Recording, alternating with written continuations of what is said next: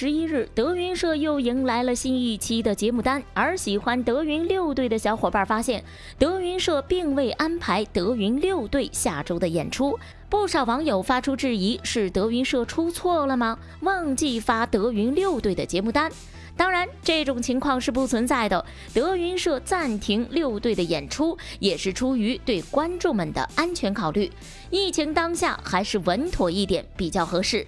而不少网友发现，虽然德云社六队暂停了演出，但是关九海却没有忘记学习。张小白发文称，这就是关九海眼中的世界，多学点知识就跟要他命似的。在关九海和张小白的聊天截图中，关九海称吃饭都吃不踏实。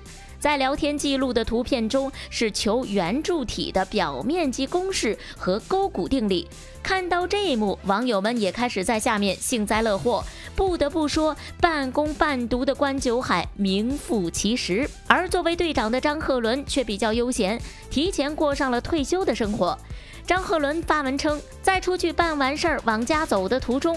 用手机听着京剧，背着手悠闲地往家走，但突然看到一位老大爷腰里别着一个随身听，也听着京剧，背着手。张鹤伦突然感觉自己步入了老年时代。吓得张鹤伦赶紧把手机关了，也不背着手了，焦虑的往回走。看到张鹤伦如此，不少网友调侃张鹤伦想退休了，也有网友表示伦哥老年时代不可怕，大不了让张九南早点接班。当然，也有不少网友担心六队全员暂停演出，演员们的工资怎么办？毕竟德云社的演员是靠演出场次进行发工资的。这一点大家也不用担心。